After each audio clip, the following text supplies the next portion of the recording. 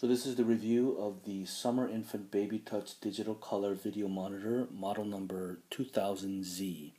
On the Pro side, it's a very nice design. Uh, here it is. Here's the charging base. And it has a little stand that you can use. And it's got this nice slick screen. Looks like a looks like an iPod uh, or uh, iPhone. Here's the power button, and okay, so there's the screen, how you can turn on. This has a talk button, so that you can actually talk into the machine so that uh, the baby will hear your voice through the camera, which I think is a very nice feature in concept, but completely practically worthless. So that's about where the pros stop, is the nice design. The cons is unfortunately everything else. Uh, I've had this for a little bit less than two years, and it basically just decided to stop wor- stop working. Uh, right now is one of the few times it decided that it's decided to work, and so that's why I grabbed the camera so quickly.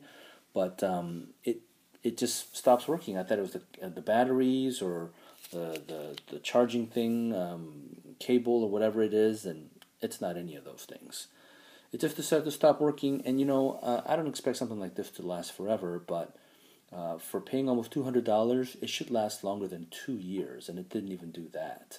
And when I called the company Summer Infants to see if they can do anything or replace a part or repair or or something, um, they were about as uninterested and as unfriendly and as cold and customer unfriendly as possible. So, if you buy a summer infant product and it doesn't work and it breaks down like mine has, you will be stuck with it because it'll go just beyond the warranty period of a year. Uh, made it to almost two years for me and then it start to break down. So, that is the huge negative. The other thing is, um, even after about maybe a little less than a year, um, it just the quality of the the the screen, frankly, is not very good. Like here, I mean, it's very difficult to tell where the baby is versus the pillow or the blanket. I don't expect HD sharp, super sharp quality. I mean, the baby's room is dark, which is most of the times when you need to see the baby uh, uh, room through the monitor. But we had an incident where the baby, um, our infant son, decided to roll himself up in, in the blanket like a burrito. Now, it was loose enough where he was actually okay, as we found out later, but um, uh, it wasn't tight enough where, he had, where it would suffocate him. But still, that's the kind of stuff you want to see on here, and we couldn't tell because you can't tell anything here. What's the blanket? What's the pillow? What's the baby?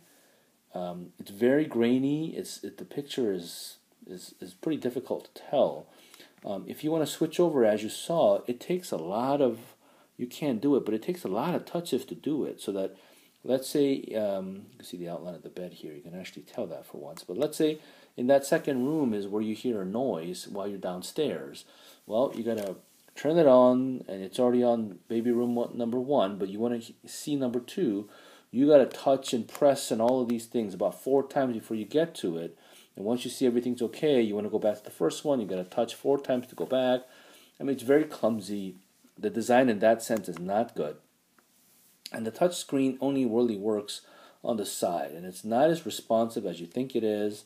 Um, it's just not that great. And also, you can move this camera around, but when you do, I mean, not that you can hear it now, but when you're actually in the baby's room, it's actually surprisingly loud. I mean, it's not super loud, but it's certainly loud enough for our kids to wake up, and maybe you know other people's kids are not as sensitive, but that's uh, certainly another minus.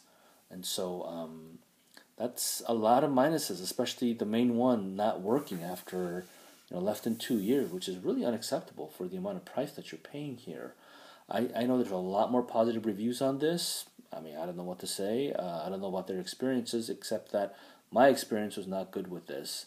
Um, and I don't know if those people have had it as long as I have. And so I would certainly recommend that people save their hard earned money for uh, a better product and a company that actually cares about its customers. Um, so I would definitely skip this one and look for a better product. This is made in China and it shows.